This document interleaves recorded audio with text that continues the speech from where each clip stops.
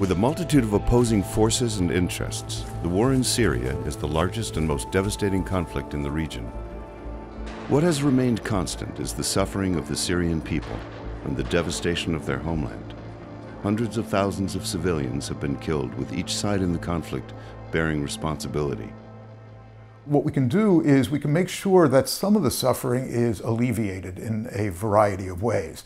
For example, UNICEF is very active in Yemen. The International Rescue Committee is another organization that is extraordinarily active in places like Yemen and in Syria. And we can actually understand exactly what the refugee crisis is all about and try to help alleviate the problems of the refugees. Half of them are women. About 60% of them are under the age of 17. About 40% of them are under the age of 11. These are not terrorists. In camps in Greece, for example, 85% of the refugees had, uh, of the adult refugees, had advanced degrees, either secondary uh, education or even more advanced than that. These are not people that you want to keep bottled up. These are not people who should be fated to live their lives in refugee camps.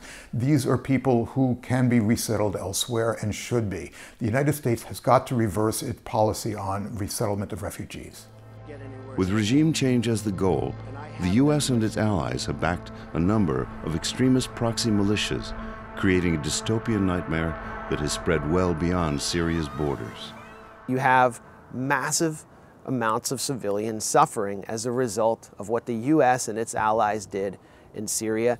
And what happens as a result of that? A refugee crisis. One of the worst refugee crises in human history, certainly since World War II, who pays the cost for the refugee crisis? Turkey uses the refugees as kind of a collateral against the West, and it strengthens Erdogan in a way. Lebanese society is pushed to the brink. It's already very fragile.